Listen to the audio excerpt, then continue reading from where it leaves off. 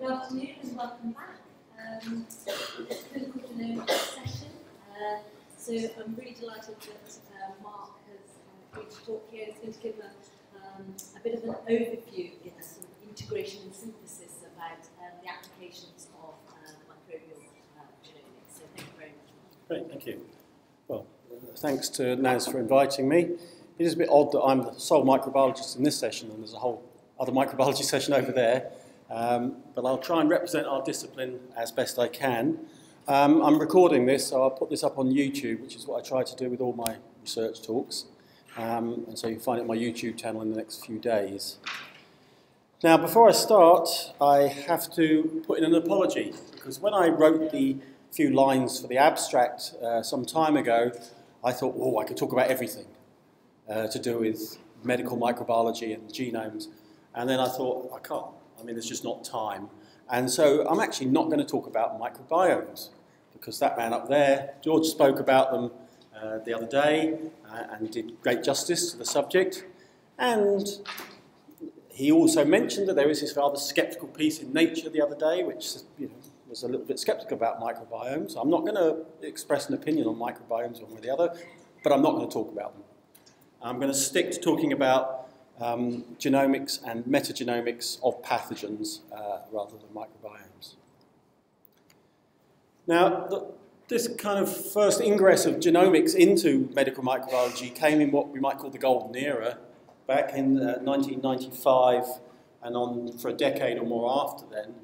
Um, and it was really exciting as a microbiologist to be alive in that era because that was the time when we got the first glimpse in silico of some of humankind's most fearful adversaries, like tuberculosis and Yersinia pestis, and uh, George's case, Treponema pallidum, he looked at. Uh, and that was very exciting, and we got those genome sequences during that era of all the significant bacterial pathogens, humans, animals, plants. And this delivered not just key insights into the biology of the pathogen, but also gave us um, lots of, of payback in terms of drug targets, vaccine targets, diagnostic targets, and even things that we didn't expect to get.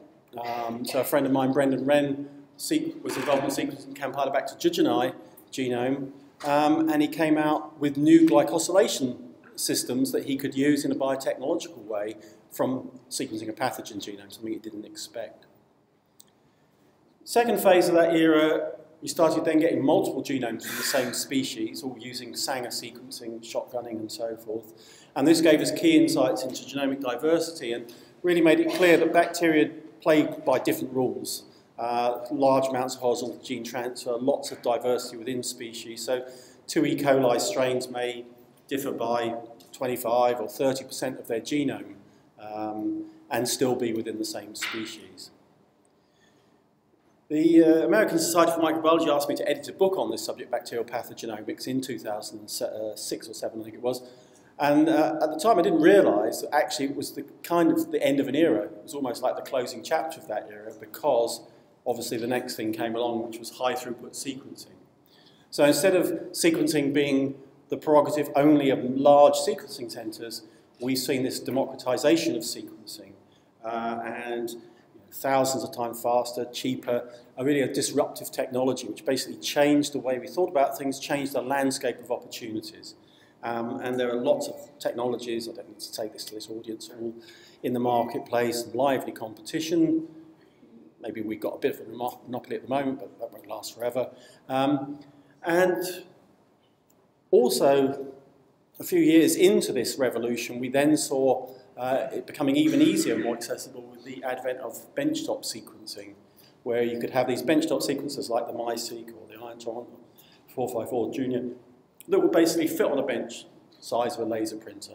And then this meant that medium-sized and even small uh, research groups could actually get in and start doing sequencing and have an impact um, and bring it into uh, real-world clinical problems and, and, and dealing with them. So what is the clinical need in diagnostic microbiology?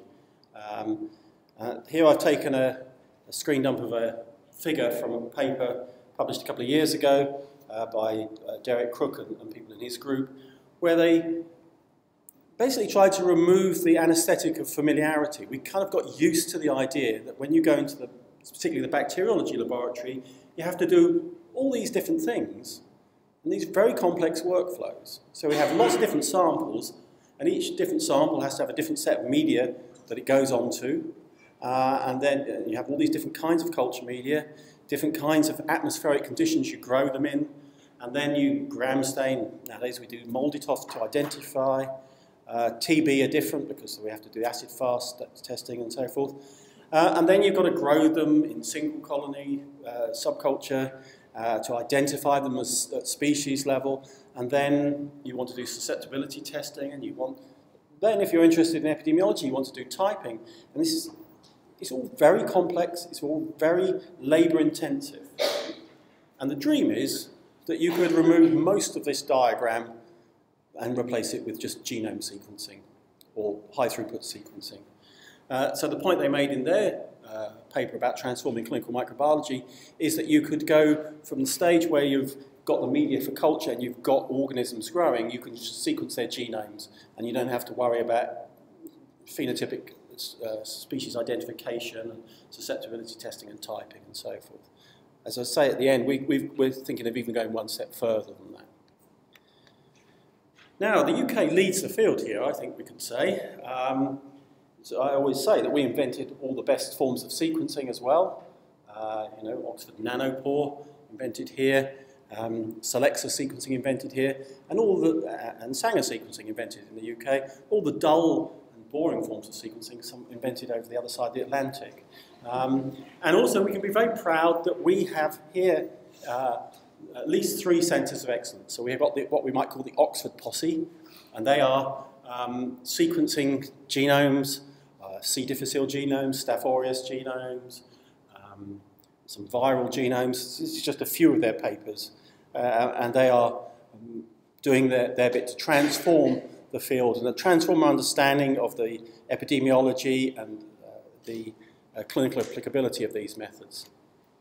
Of course, you know, like in the boat race, there's another team as well. There's the Cambridge posse, Sharon Peacock, the Sanger Centre, and those people doing lots of similar kinds of things.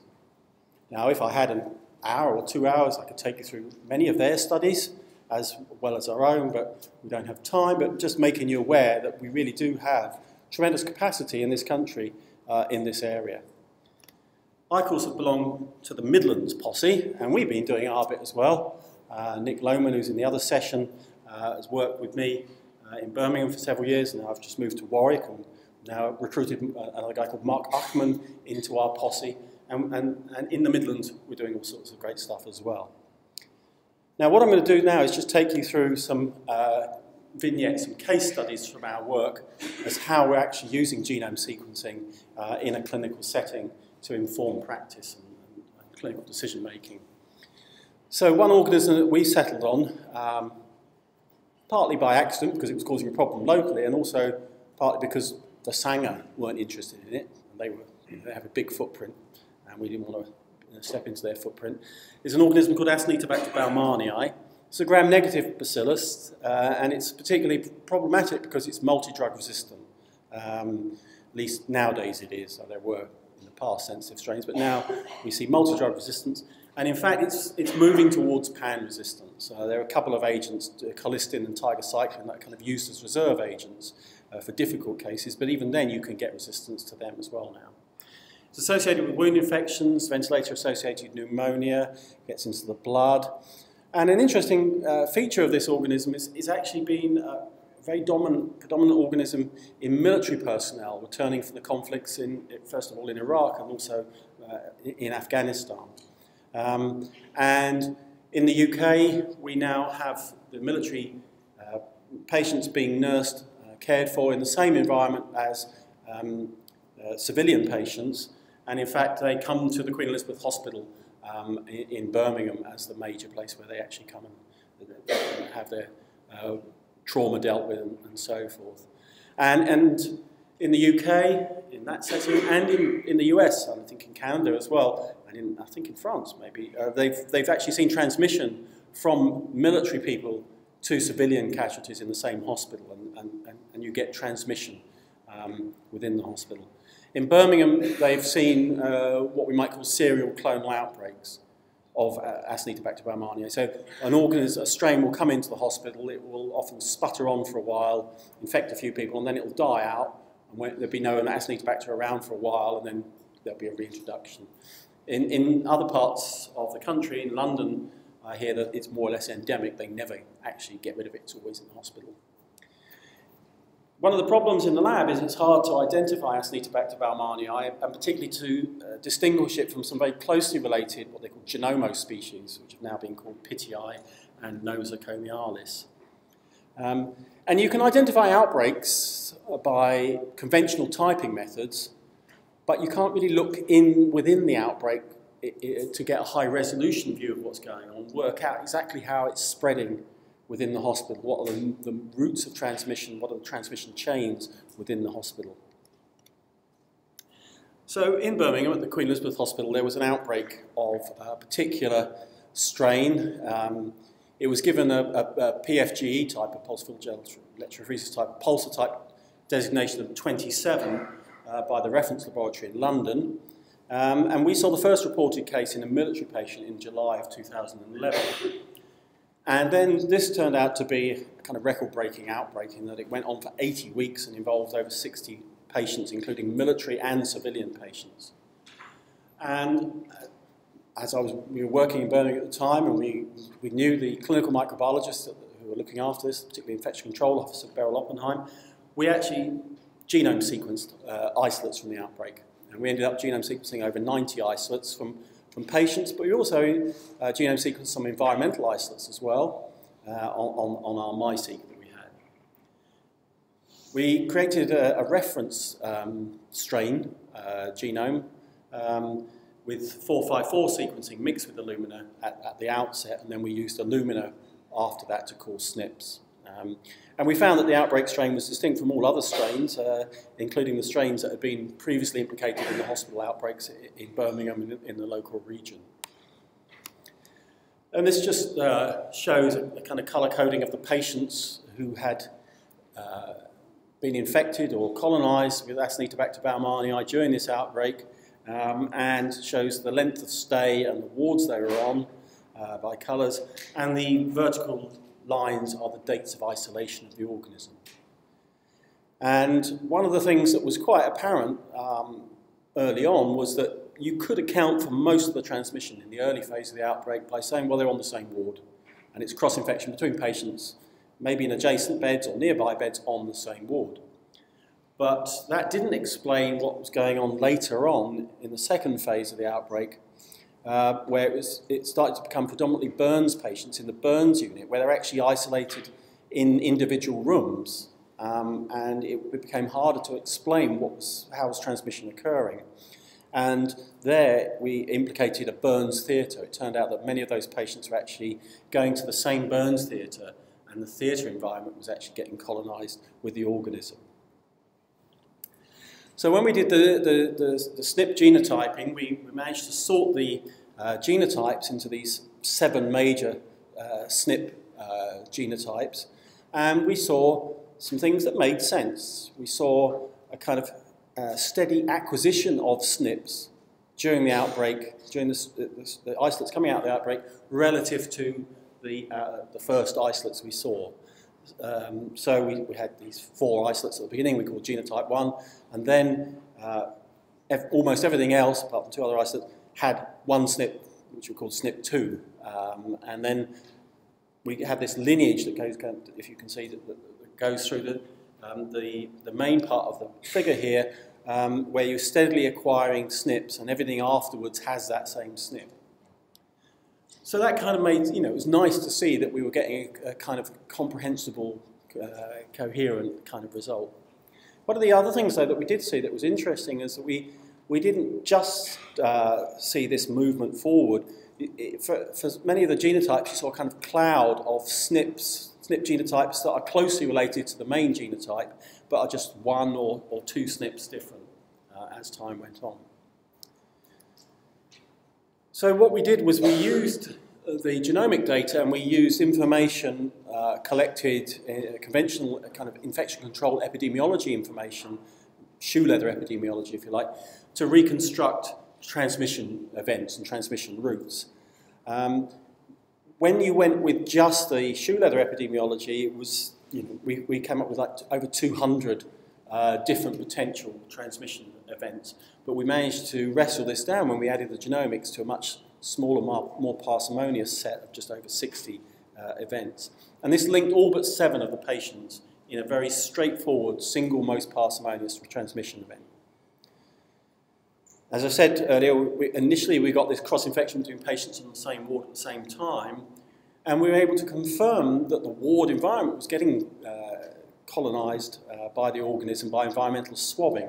And, that, and, and we genome sequenced those, and we actually can confirm they were coming from those patients, and they were part of the outbreak. And that led to a tightening of the ward decontamination procedures, and that did actually help to control the outbreak. We did, in some cases though, where there wasn't a direct link, we, we said, well, what's going on here? And we, we looked at what had been going on, and we found, oh, these two patients had been using the, the same equipment. They had been on the bronchoscopy list, and that maybe the bronchoscope was, was at fault there. Later in the outbreak, we homed in on the Burns Theatre, which was closed and then underwent deep cleaning, and the outbreak appeared to be under control for a while. But then we got these, um, it, it, flared up again. And again, we got this linkage here but through the environment, but it was through a particular, very specialised Burns care bed, a particular mattress that prevented bed sores and so forth that hadn't been decontaminated properly um, and been shared by these two patients. And the outbreak flared up again, and we had to improve the decontamination protocol for that bed, but also do more deep cleans of the, of the Burns theatre and then the outbreak finished. Now you may argue, well, what's the point of all that genome sequencing? People are doing infection control like this anyway. Does it add any value? Um, and is it worth the money and all the uh, effort? Well, there are a number of things that we did with the genome sequencing. We managed to exclude isolates from the outbreak quite effectively, so we could say that's not part of the outbreak. It's not part of the outbreak strain. You don't have to worry about how that patient got it in the outbreak because it's not part of the outbreak. Uh, in some cases, we actually identified this related species, Acinetobacter pittii, and we, and we actually identified a second outbreak of Acinetobacter pittii, very small outbreak, just one or two uh, uh, cross-infection events caused by that organism. Um, so that was something we wouldn't have seen uh, very easily otherwise. We linked the patients via their SNP genotypes, and as I say, it made a kind of coherent story as we went through the outbreak. We were able to link the patients to the environmental isolates, and this gives you much more strength when you're going to say, right, we need to do a proper deep clean of this environment, of this ward, of this theatre, because we know these are the very same genotypes in the environment that are coming from the patients. It gives you a lot, lot more strength to your argument um, as you're doing that. We showed these with inpatient clouds of diversity, which was interesting. And in some cases, we actually got mixed infections of two different genotypes. And in, in some cases, we actually had Acinetobacter pittii mixed in with Baumannii. Um, and that uh, actually challenges the, the, the long-held practice of microbiology where you just pick a single colony and work on that. Uh, it's clear that there's actually a lot of diversity in these, in these wounds and other in, uh, environments than we have expected. We, when we started this project, it was mainly retrospective. We started like a third of the way into the outbreak. But as we got towards the end of the outbreak, we were actually turning the stuff around very quickly, and we were going from a colony to a SNP genotype in, in less than, than one week. So we were, you know, we're giving a service comparable to what you would get if you sent the stuff off to a reference laboratory to get typed. Uh, and so that was also very valuable in, in giving advice to the clinicians and to the infection control team in real time. So that was one outbreak that we've been involved in, and, and uh, that is in its final revision in Genome Medicine and should be coming out in November in the special edition of Genome Medicine. So you'll be able to pick that up there, the paper on that. Another outbreak that we uh, got involved in in terms of the genome sequencing was this e outbreak of E. coli 0104H4, uh, which some waggers called the sprout break because it was associated uh, with the consumption of bean sprouts. Uh, and this was a very large outbreak that uh, hit Germany uh, in, in May and June of 2011. I think it's over 5,000 cases in the end and over 50 deaths, so the slide's a little out of date.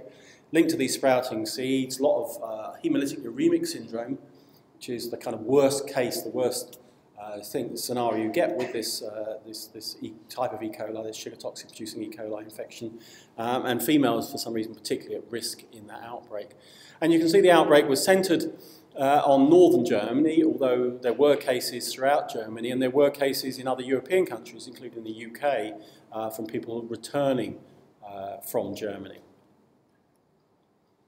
And what we did was we, we did something which we, we called open source genomics, uh, where basically the genome was sequenced. It turned out the genome was sequenced on an ion torrent uh, in Shenzhen by BGI. So our German collaborators sent the DNA off there, got it sequenced. Um, and then BGI released the data uh, directly onto the internet without any uh, uh, cons constraints on usage whatsoever. And Nick Lohman, uh, who was working in my group at the time and had been working up the protocols to actually handle ion torrent data, then assembled that data and came up with a draft assembly of the genome and then posted that without any uh, constraints on the internet and called on the rest of the community, and very active on Twitter, uh, to actually have a look at the data themselves. And what actually happened there was we got these crowdsourced analyses um, with people around the world in, in, in, different continents and countries, in America, in South Africa, in China, in Hong Kong, in Australia, all chipping in and actually doing uh, bits of analyses and then posting their analyses up on this special wiki site, open source wiki. And so within a week, there were over 20 reports on this uh, genome, and much of the analysis was done by people, in fact, almost all of it was done by people who were not professional public health microbiologists, public health genomicists. Um, and it was a very remarkable uh, uh, kind of find that we, we, we, got to that stage. And the interesting thing was that this actually um, showed that social media, things like blogging and Twitter, which often people disregard as, oh, this is stupid and waste of time, actually powerfully augmented academic discourse and managed to rally all of this activity together. There's a key role also for benchtop sequencers. This is one of the first uses of uh, a benchtop sequencer uh, in, in this kind of work. And this is just a screen dump from that uh, from the website where people were posting all the time. And you can just see from the diversity of names um, that you know, you've got English names, Spanish names, Chinese names, Polish names, uh, people from all around the world tipping in and, and actually doing their analyses. And the takeaway messages from that particular outbreak and that analysis of the outbreak was that clearly infection is still a, a big problem. And so although everyone says, oh yeah, you've got to worry about cancer and you've got to worry about heart disease and diseases of old age and infection, that's, that's yesterday's problem. It's not, not true. Um, also, it's clear that pathogens don't bother with passports. They do move around the world pretty quickly. And it turned out that that strain, once the genome had been sequenced, it, it, was clear that there had been something very similar seen in Germany 10 years before and the other side of the world in Korea. And the closest genome sequence strain actually had come from the Central African Republic um, and had come from patients with uh, HIV infection uh, who, who um, it wasn't clear whether it was actually causing disease in those patients. It became clear also that this was a very unusual lineage, it's what we call enteroaggregative E. coli, uh, which is unexpected. Uh, so although it was producing the sugar toxin, it didn't belong to the normal group that we see uh, associated with sugar toxin production. And this gave the conclusion that basically it probably was circulating from humans. It wasn't uh, with, if you look at, say, E. coli 0157, you, you go and look for some cows somewhere because it's usually come from cows or other animals that have got in, where, where their feces have got into the human food chain. Uh, whereas that didn't seem to be the case here. And there was basically all sorts of evolution going on within the strain. Um, and we also saw antibiotic resistance here. Even though people weren't using antibiotics to treat the infection, uh, and certainly not the ones that you saw resistance to, they were there, which was kind of ominous as well. So we actually managed to write up in the New England Journal as a brief report. Um, and we went over, myself and Nick, to go and meet our German collaborators. We'd only spoken by email and, and so forth up till then. Uh, and we had some champagne. And then we said, all right, what are we going to do now then? Um, you know, we've, we've, we've, are we just going to be like a one-hit wonder, or is there something more we can do? Uh, and we said, well, what, what are our unique selling points? And we, Nick and I said, well, we can sequence genomes and analyze them, sequences pretty well. Uh, and they said, Well, we've got this unique resource. We've got over 200 samples of, of feces from patients from the outbreak in our freezers. I said, okay, well, why don't we just sequence the shit? Basically, let's just go in there and sequence that, that, those fecal samples directly and see if we can get any useful information out. So need to step back and say what's the rationale for that? Well, the rationale is that basically the way we do certainly diagnostic bacteriology is that we're using 19th century techniques. We're using techniques invented by Christian Graham uh, and Robert Koch. Basically, we look down the microscope and stain things up and say, oh, that's a coccus or a rod or whatever, and then we grow them on solid media and we propagate them in single colony pure culture. And you kind of think, well, could we not be doing something better than that uh, in the 21st century? Um, and so what I was proposing was that we could actually use shotgun metagenomics in this capacity and use it in a diagnostic way. So instead of, as we had done in our analysis in the New England Journal paper of that outbreak, we'd gone from the stool sample to growing the organism and then extracting DNA and sequencing it, could we not get the same sequence information directly from the stool samples without bothering to culture? So that was the, the, the task we set ourselves. And so we asked our German collaborators to send us DNA extracted from the stools, which they did. And the very first sample, Nick uh, Lohmann actually uh, aligned the reads from the metagenome against the, the, the, outbreak strain genome. And so you've got the coverage there. Uh, and, uh, and then the, that, bit, this is positioned in the genome there along the x-axis. Um, uh, and basically, you, you, we got good coverage of the genome, around 20-fold, more than 20-fold coverage of the genome on average. We've got this kind of smiling effect because when you've got bacteria that are actively growing in log phase, the origin of replication is slightly overrepresented compared to other parts of the genome. We could actually work out what kind of strain it was uh, from um, pulling out the sequences. And there was this little upswing uh, partway along the genome that's in that little box there, and that was the part of the genome that actually encodes the, contains the, the prophage, the bacterial virus that's integrated into the chromosome that encodes the toxin gene. Um, and that made, kind of made sense, but it gave us a glimpse into the direct, directly into the kind of biology of, of this infection in action. Because what we're seeing there is probably uh, free phage particles are actually present in the stool as well as the phage within the bacteria, and that's what we're, why we're seeing that overrepresentation. Anyway, we went on and did this on a, a, a, larger set of samples, and we actually got quite good results. Variable, but nonetheless, it was quite convincing that it was working. And then we tried to submit it to JAMA, um, and the ed editor sent it out to reviewers.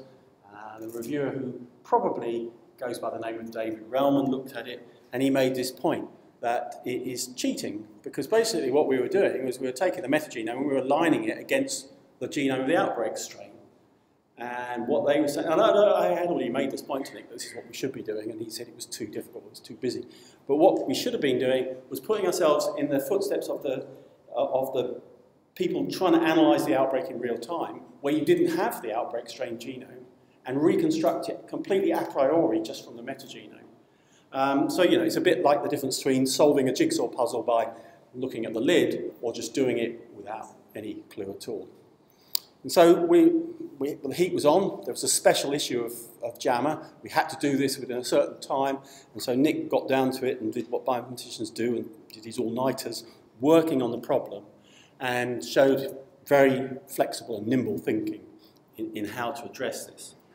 So what he said was, let's, let's just have a look at the complexity of the sequences within these stool samples in their metagenome. And, and he, he, came up with this graphical display where we've got the, the, the coverage, the depth of coverage. Uh, we've got the GC content, which is a, a way of separating out bacteria taxonomically, if you like. And then he had also used homology-based methods to classify them and color-coded them. And this is the kind of complexity you get when you've got, um, when you're just looking at something that's present in, in more than one sample, anything that's present in more than one sample. Um, you can see that the Enterobacteriales, which are, is, is the, uh, the taxon which in, in, includes E. coli, is there in the middle, but there's so much else going on. So Nick said, well, let's make one simplifying assumption. The reads that belong to the pathogen genome are going to have to be present in at least half of the samples associated with this outbreak. you know, if it's an outbreak, that's, that's a reasonable assumption. So let's just subtract everything that's not present in at least half. So we took 40 samples. It's got to reads had to be present in at least 20 out of those 40 samples. And that led to a great simplification, as you can see there, of the kind of taxonomic mixture within, within the sample, but it still didn't give us the outbreak strain genome, um, a long way from having a single organism genome there. So then he said, right, let's make one more assumption. Let's assume that the outbreak strain genome is not present in normal people. And as George has pointed out, there, there have been these big metagenomic projects, the Human Microbiome Project, there's a MetaHit project in, in, in Europe. Nick just went to the MetaHit project and said, right, I'll just take 40 European stool samples from normal Europeans and I'll subtract anything that's in them from this, these metagenomes, this meta-metagenome, if you like, of 40 samples. And when he did that, he actually got down to um, the outbreak strain genome. He got these uh, accessory genome from the E. coli strain. He actually, uh, because he, there was lots of E. coli present in all stool samples, he subtracted away the core genome of E. coli, so he had to go back in and get that, and he came up with a, yet another, working with a guy called Chris Quince, came up with another method, uh, which I won't go into. And in the end, he managed to pull out the outbreak strain, strain genome from, the, from the, those samples from the outbreak completely a priori, and we wrote that up and got that published in JAMA. So that was a very nice test case of how we can actually go from genomics to metagenomics in a clinical setting and make use of it. Um, since then, there's been a couple other uh, examples of this kind of approach. Um, one uh, in, published in the New England Journal, uh, where they diagnosed neuroleptospirosis by just sequencing clinical sample directly. Uh, and our German collaborators actually used this approach to diagnose uh, chlamydia pneumonia infection uh, in a patient in Germany as well. Since we did that study in JAMA, we've also got involved in my group in looking at historical material, and we've looked at uh, some 200-year-old uh, mummified lung tissues, and we looked at a calcified nodule that was 700 years old. Um, and from the lung tissue, we managed to get TB genomes, over 30-fold coverage of a TB genome from that. And from the Brucella, uh, from the 700-year-old um, uh, nodule, we got a Brucella melitensis genome from the metagenome. Uh, no culture because the organism is presumably dead. We didn't even try to culture it. Um, but it was, it was there as ancient DNA. Now you might say, well, hang on, that's a step away from clinical stuff, isn't it? You've got, suddenly gone into archaeology or whatever. But actually it all connects because as we were analysing these samples, we started using an approach that Nick Loman mentioned uh, in his talk just uh, before the break uh, of phylogenetic placement, where you can actually call out the SNPs that you've got, even though that you haven't got great depth of coverage, enough to call every SNP robustly, you can use the data you've got to actually place that genome on a pre-computed phylogenetic uh, tree of, of all the diversity within that particular species or taxon. And so that's what we were able to do with this medieval Brucella genome. We were able to say, ah, it belongs, this one here, Geridu1, actually belongs here next to this um, more recent strain, the Melitensis, uh, Brucella melitensis ether. Um, and uh, you know, so we were not only able to identify as a Brucella, not only able to identify to a species name, but we were also able to put it into a particular clade. More recently, uh, just in the last uh, in the last year or so, we've been doing this kind of thing on sputum, uh, working with uh, Martin Antonio in the Gambia, um, and Emma Doughty, who was in the audience somewhere, PhD student, been out to the Gambia and extracting DNA from sputum samples from patients who have been diagnosed as smear-positive tuberculosis patients.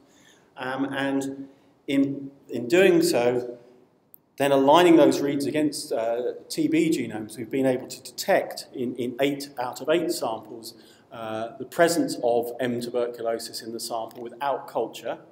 Uh, and culture, obviously, for TB is actually a particular problem because it's a very slow growing organism. And so it takes weeks before you actually get a diagnosis, typically.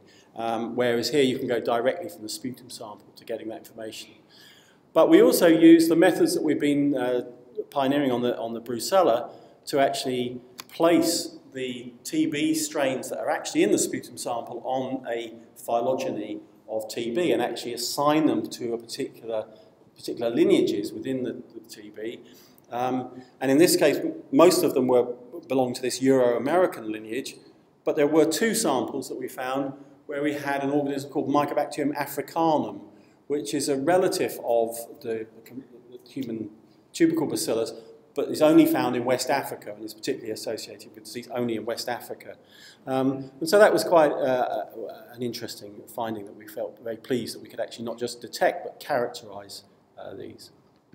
I'm just about finishing now, just about to finish up. Um, future prospects, well, you've heard about nanopore sequencing next door, uh, and that really does seem to be very exciting, that we'll have a little USB stick and we can do all this stuff close to the patient, we can do it quickly and easily. Um, Whole genome sequencing is actually now become routine for TB, just in the, in the last year or so. A number of labs, Heartlands in Birmingham are doing it. Probably is going to become routine for other pathogens soon. I know that Public Health England is doing it for Salmonella E. coli. Uh, metagenomics can work on diagnostic emergencies now, it is an appropriate thing.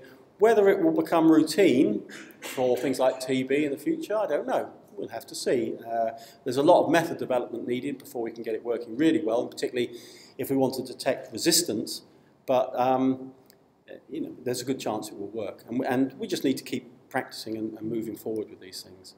Um, and um, I've just, at the last minute, I'm just going to say we've also got this, just recently got MRC funding to set up a cloud infrastructure to, to support all this microbial genomics, medical microbial genomics, so that people doing the bioinformatics can actually use this cloud facility, which will be free, a bit like Amazon Cloud, but you don't have to pay for it. Um, and, and we just got this money. This is uh, actually from a, um, a, a humorous uh, website where they took, made, made fun of us for getting this money. Uh, it's not actually true that we're going to spend the money all on Apple Macintosh computers. But I'm running out of time, so I'll just finish now with the acknowledgements. Thank you very much.